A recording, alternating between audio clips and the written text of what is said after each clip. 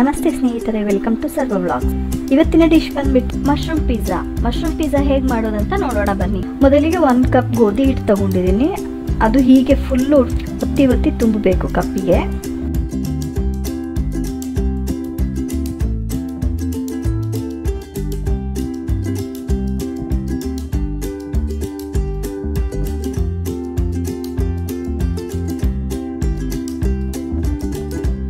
ಇಲ್ಲಿ ಒಂದು ಕಪ್ನಷ್ಟು ಗೋಧಿ ಹಿಟ್ಟು ತಗೊಂಡಿದ್ದೀನಿ ನಾನು.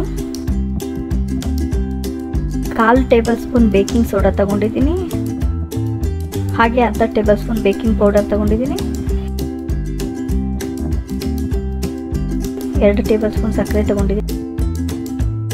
ಎಲ್ಲ ಡ್ರೈ ಇಂಗ್ರೀಡಿಯೆಂಟ್ಸ್ನ ಮಿಕ್ಸ್ ಮಾಡ್ಕೊಳ್ತಾ ಇದ್ದೀನಿ ಚೆನ್ನಾಗಿ.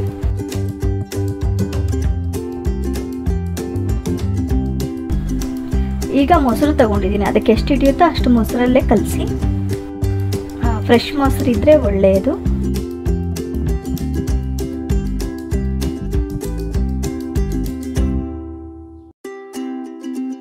ಚೆನ್ನಾಗಿ ಚಪಾತಿ ಹಿಟ್ಟಿನ ಹದಕ್ಕೆ ಕಲಿಸ್ಕೊಳ್ತಾ ಇದ್ದೀನಿ. ಈಗ ಒನ್ ಟೇಬಲ್ ಸ್ಪೂನ್ ಆಯಿಲ್ ಹಾಕ್ಕೊಂಡು ಮತ್ತೆ ಕಲಿಸ್ತಾ ಇದ್ದೀನಿ.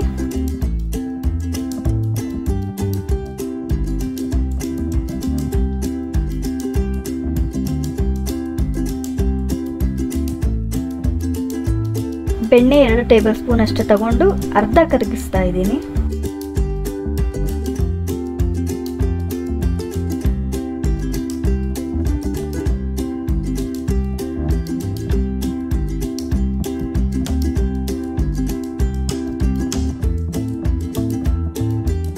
ಪಿಜ್ಜಾ ಸಾಸ್ ನಾಲ್ಕು ಟೇಬಲ್ ಸ್ಪೂನ್ ಹಾಕೊಂಡಿದ್ದೀನಿ ನಾನಿಲ್ಲಿ ಹೋಮ್ ಮೇಡ್ ಪಿಜ್ಜಾ ಸಾಸ್ ಹಾಕಿದ್ದೀನಿ. ನೀವಿನ್ನು ಪಿಜ್ಜಾ ಸಾಸ್ ರೆಸಿಪಿ ನೋಡಿಲ್ಲ ಅಂದರೆ ಲಿಂಕ್ ಡಿಸ್ಕ್ರಿಪ್ಷನ್ ಅಲ್ಲಿ ಇರುತ್ತೆ.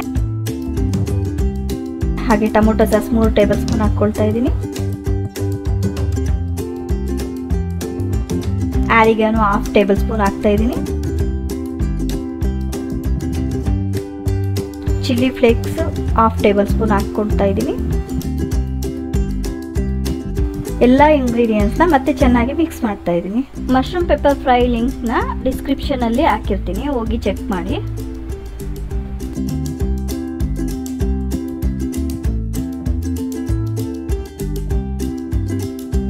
ಮತ್ತೆ ಓವೆನ್ನ ಪ್ರೀ ಹೀಟ್ಗೆ ಇಡ್ತಾ ಇದ್ದೀನಿ. ಒನ್ ಏಯ್ಟಿ ಡಿಗ್ರಿಯಲ್ಲಿ ಟೆನ್ ಮಿನಿಟ್ಸು.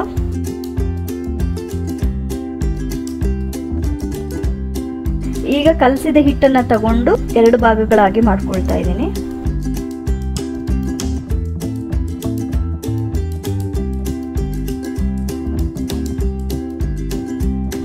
ಅದನ್ನು ಚೆನ್ನಾಗಿ ಹಿಟ್ಟಾಕಿ ಲಟ್ಸ್ಕೊಳ್ತಾ ಇದ್ದೀನಿ.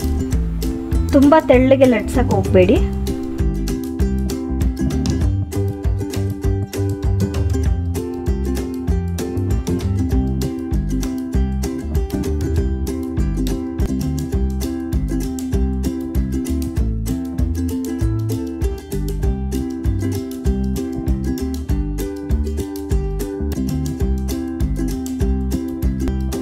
ಇಷ್ಟು ದಪ್ಪಕ್ಕಿರಲಿ. ಈಗ ಟ್ರೇಗೆ ಬೆಣ್ಣೆ ಕರಗಿಸಿದ್ವಲ್ವಾ? ಆ ಬೆಣ್ಣೆನ ಅಪ್ಲೈ ಮಾಡ್ತಿದ್ದೀನಿ.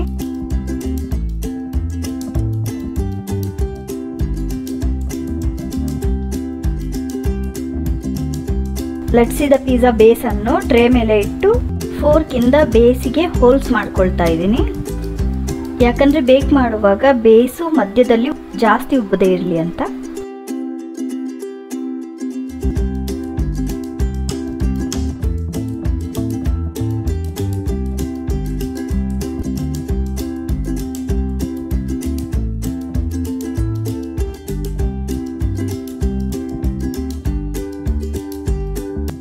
Pizza sauce two tablespoon ಹಾಕ್ಕೊಂಡು ಚೆನ್ನಾಗಿ ಅಪ್ಲೈ ಮಾಡ್ತಾ ಇದ್ದೀನಿ.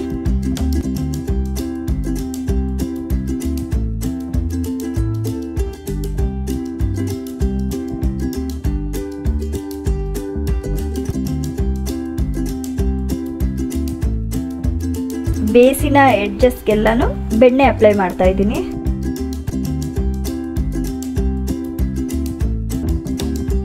ನಾನಿಲ್ಲಿ ಚೀಸ್ ಹಾಕ್ತಾ ಇದ್ದೀನಿ. ಚೀಸ್ ಎಷ್ಟಾದರೂ ಹಾಕ್ಕೊಳ್ಬೋದು, ನಿಮ್ಗೆ ಇಷ್ಟ ಬರುವಷ್ಟು. ಚೀಸ್ ತುಂಬ ಇಷ್ಟಪಡೋರು ಜಾಸ್ತಿ ಆದರೂ ಹಾಕ್ಕೊಳ್ಬೋದು, ಇಲ್ಲ ಅಂದರೆ ಕಡಿಮೆನಾದರೂ ಹಾಕ್ಕೊಳ್ಬೋದು. ಈಗ ಫ್ರೈ ಮಾಡಿದ ಮಶ್ರೂಮ್ ಪೆಪ್ಪರ್ ಫ್ರೈನ ಪ್ಲೇಸ್ ಮಾಡ್ತಾ ಇದ್ದೀನಿ.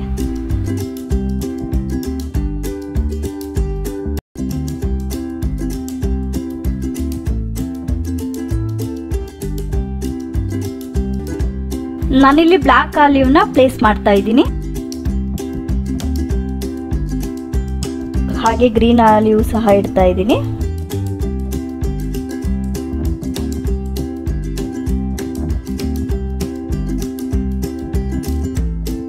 ಕೊತ್ತಂಬರಿ ತಗೊಂಡಿದ್ದೀನಿ. ಕೊತ್ತಂಬರಿ ಯಾರು ಹಾಕೋಲ್ಲ ನಾನು ಹಾಕ್ತಿದ್ದೀನಿ.